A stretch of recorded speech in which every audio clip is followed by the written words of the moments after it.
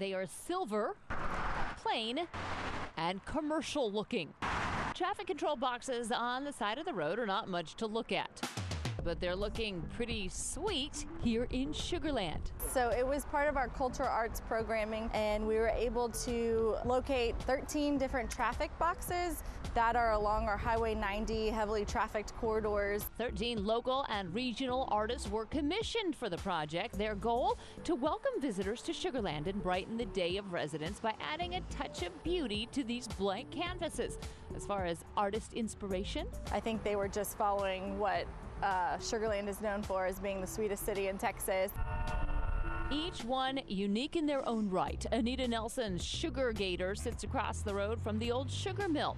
Perfect presentation and location to showcase this gator, sweet tooth. Mike Doan's Busy Bees highlights Sugar Land's dependency on the honeybee to pollinate numerous crops in the area. Artist Judy Hope is all about tweet, tweet, sweet with her display that sits under the Highway 6 overpass at Highway 90. The intention here is to wish commuters a good morning and bring a simple smile after that long day.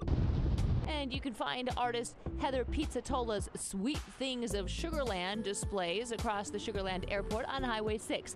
The illustrations include the historic sugar refinery and Constellation Field. We're really excited about the feedback that we've received, and we are looking into the opportunity to find new traffic boxes that we can um, pinpoint